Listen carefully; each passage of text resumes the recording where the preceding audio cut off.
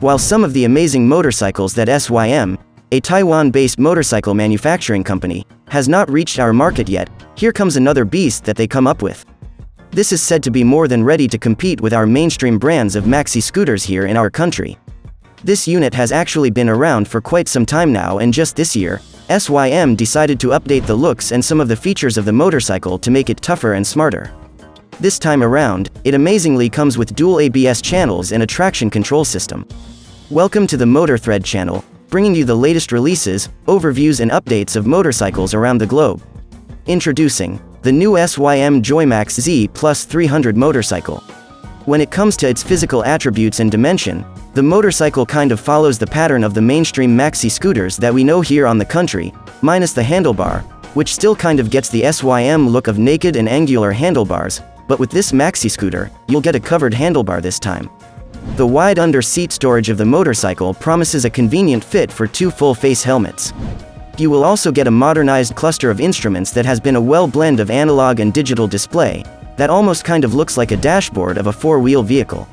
You will also get two frontal pockets wherein you will also find the quick charging USB 3.0 socket in one of those. The Joymax Z Plus also now gets a full LED lighting system, from its headlight, to the tail light, and down to the turn signal lights. This is powered by a 278cc, 4-stroke, single-cylinder, liquid-cooled, electronically fuel-injected, Euro 5 certified, and a CVT automatic transmission engine. This is expected to yield an output power of 25 horsepower at 7,500 RPM and a 26.2 Newton-meter of torque at 6,750 RPM. The starting system of the motorcycle is electric and no kickstarter. The Joymax Z Plus gets the conventional telescopic fork on the front, while the rear is utilizing a dual shock absorber.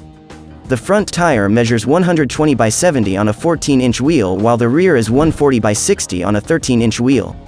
With that, this motorcycle would promise a very stable cornering because of its wider tires. The front wheel is utilizing a 260mm disc with dual piston caliper while the rear is a 240mm disc with single piston caliper. And just to reiterate, this has now been equipped with a Bosch brand's pair of ABS or otherwise known as anti-lock braking system. The combination of ABS and traction control system that this motorcycle has been equipped with makes this motorcycle more reliable and dependable on different road conditions. As to its dimension, the motorcycle seat height is only 747 mm while weighing only 185 kilograms. With that, this indeed promises wide accessibility, even to people with average to considerably shorter heights. Other features worth mentioning with are the adjustable windshield, a hazard control function, and an adjustable waist rest for a more comfortable and relaxed riding position.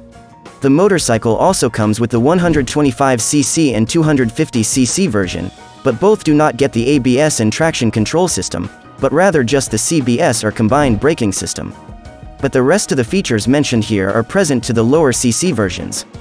The price of the motorcycle, based from its current selling price in the markets where it is available, is playing around 228,000 pesos or 4,000 US dollars, which is already very competitive price, knowing that the mainstream maxi scooters that we know here in the country within its category is priced near the 250,000 pesos mark. What do you think of the motorcycle? The next review video we have, the one you see on the screen, is the latest 125cc motorcycle from Yamaha, that promises great off-roading and adventure. You may click it to watch next.